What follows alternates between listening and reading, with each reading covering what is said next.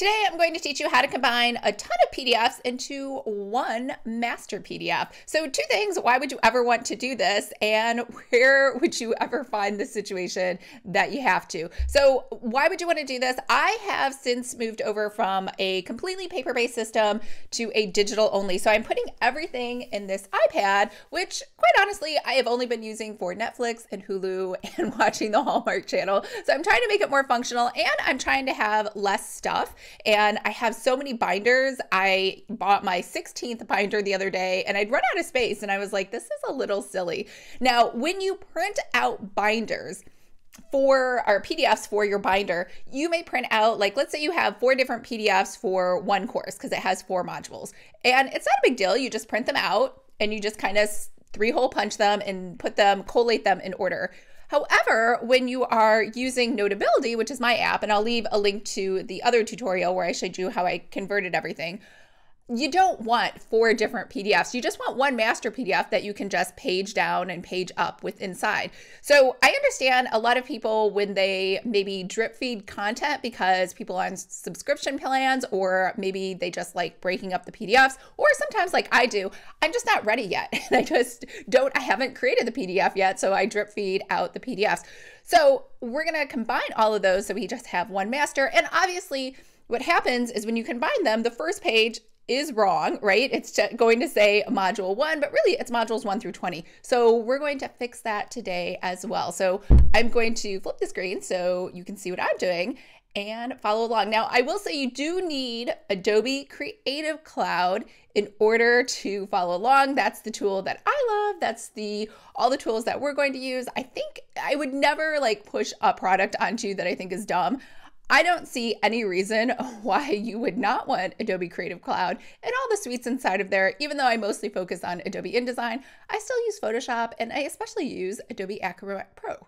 So I will leave a link to that below too if you want to sign up.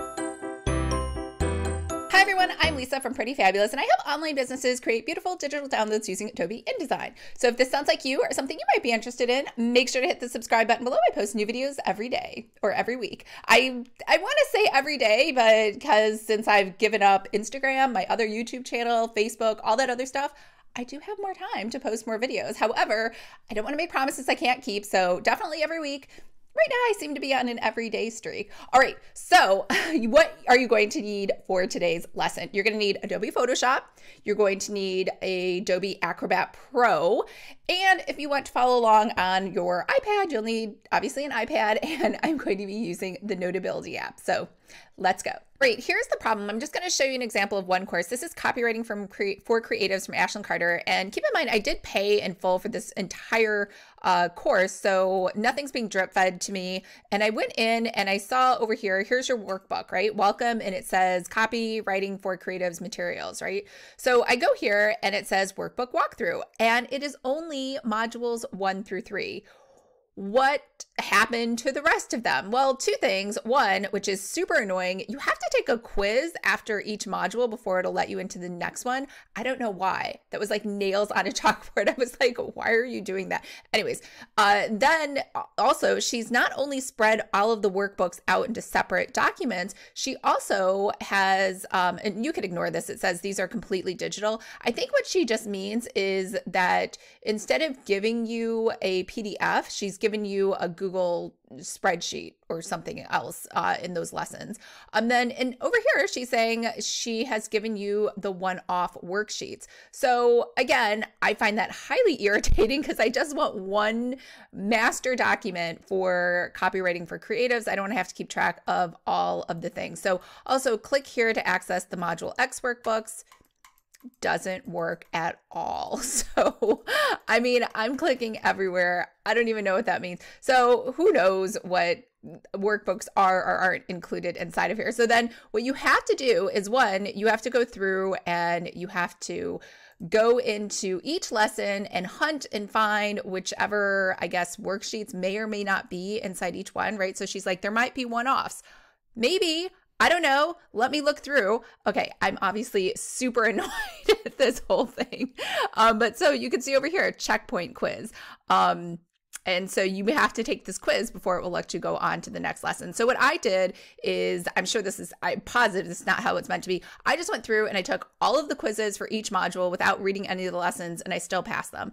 Uh, just so I could just like start going through and like copying and downloading all the PDFs. So that's what I'm going to do right now. So you can follow along if you want. Uh, but we're going to hunt and peck and see, did she have a lesson somewhere before you begin. No.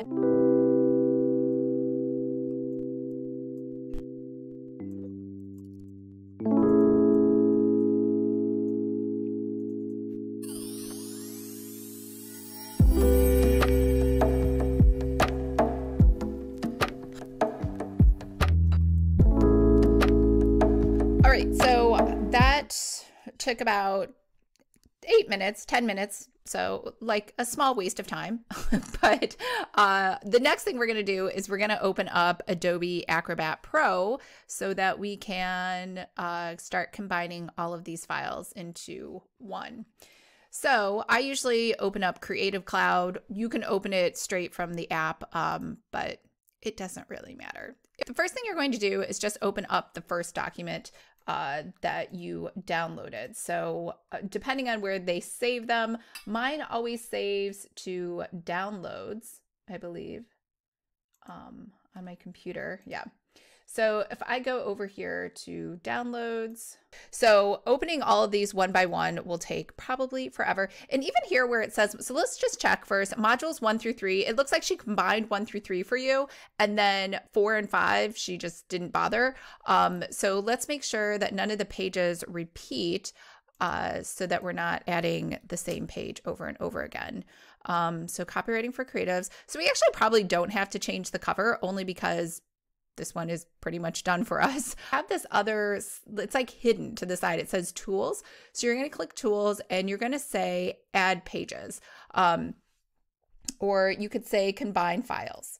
So if I said combine files, uh, you could add your files over here and you can see it automatically goes to my downloads area. You can't add the zip file, but it looks like I can go down to where we started which is that workbook. And then I can go ahead and copy all of these, and then we'll come back for those. And I'll say add files, and it will add all of these files for me in the order that those were done. So I can go ahead and say combine. And now this is 237 pages. So this is now called binder one. So this one isn't over here. Uh, so I didn't add that. So all we have to do is go back over here to tools and we'll say um, add pages. So organize, we'll do organize pages. And then right up here at the top, I'm going to highlight this first page and I'm going to say insert from file. And I'm going to find that first file that we had, which was modules one through three. I'll select that and it'll ask me where I want it to go. So I want it to go before page one. So it's the very beginning. Um, so now it's going to add that so you can see these are all vertical and now it's switched to horizontal. I don't think it's a big deal. Your iPad, as soon as you move it around, unless you have the orientation locked, it should just move for you. Uh, so we're just going to say, okay, so now we're up to 269 pages. So we are going to go to the very end over here and we're going to add all of the rest of those pages. So we're going to insert from file again. And remember, I had to stop right here at that zip file. So we're going to add all of these. So we're going to select those and it's going to insert multiple files, but this time we're going to say after uh, page 269 of 269, or you could say after the last page. Both of those work. Uh, so we're going to say okay. It's adding all of those files in in that order that I selected them and we're done. So now we have 338 pages. So you're going to go over here to the top, you're going to close. Now it might be a big file. So what I would suggest is after you're done, I would do file, reduce file size. I'm still just going to save it to downloads and I'm just going to call it uh, the Ashlyn or the copy writing for creatives um, master PDF. And I'm to save that. It's saving that file. And then when we go back into our downloads, we can see that it's 97 megabytes. All right, so how do I get it over into my iPad so I can open it in Notability? So the first thing that you're to do is you're to need to use Google Drive. So we're to upload it to Google Drive. So I put everything in my Google Drive into all my PDFs into a folder called Clickbait. and I kind of arrange it by whoever sent it. Uh, so all I have to do is drag and drop that PDF over into here. So let me find it. There we go. I'll just drag it. And then here at the bottom, if my face wasn't in the way, you can see it's uploading. And then I'm going to switch over to my iPad. All right, really easy on your iPad. You're just gonna bring up Notability. That's my favorite tool. You can use whichever one you want. And we're gonna go to the import button here at the top right. We're gonna select Google Drive because that's where we put it. Obviously, you could put it into any of your other storage devices. And then we're going to go to my clickbait folder. We'll go into that Ashlyn Carter folder, uh, which is right here and we're gonna grab that file, which, what I call it, copywriting for creative. So this is in alphabetical order. There it is. We're gonna grab that. And now when it grabs it, it's gonna ask you where you want to put it. I think I'm in the wrong folder. I'm in the Ali Brown folder.